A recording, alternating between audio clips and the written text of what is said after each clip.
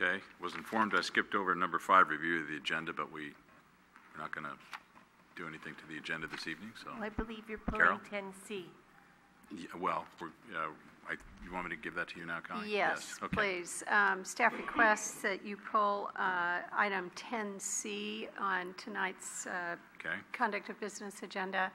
Um, Staff would appreciate some additional time to deal with some procedural issues and to bring this back to the city council um, as quickly as possible. okay, great. Any other uh, items on the agenda want addressed? Okay.